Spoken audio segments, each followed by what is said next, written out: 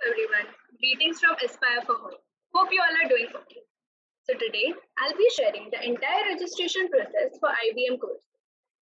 These courses are free of cost and will also give you an amazing opportunity to earn IBM verified badges after the completion of each course. Okay, so let's get started going. Firstly, you can open the link which is shared with you all in the browser or can open through our Aspire for Her page. The foremost thing we need to do is register and sign up on the page. Just click your register now. Now over here, you can start with any of the uh, accounts given, Google account, Facebook account, LinkedIn account. Over here, I'll be using Google account.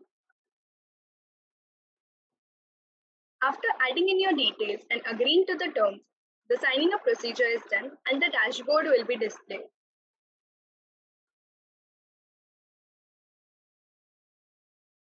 Now, for enrolling into the courses, over here you'll have a list of courses available.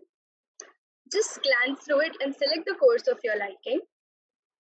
I'll be taking up Principles of Visual Design and clicking the Enroll button. This page will redirect you to the course and now you can start with it by clicking View and Manage Completion and get started with the courses.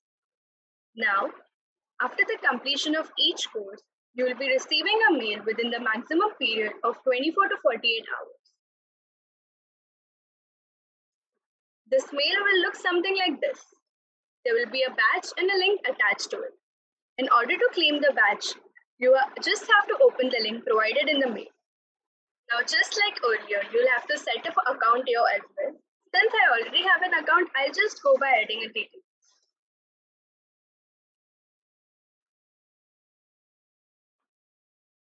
And a dashboard will be displayed here.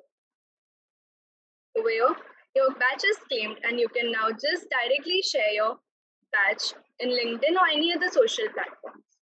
So what are you waiting for? Register and start upskilling yourself. Thank you.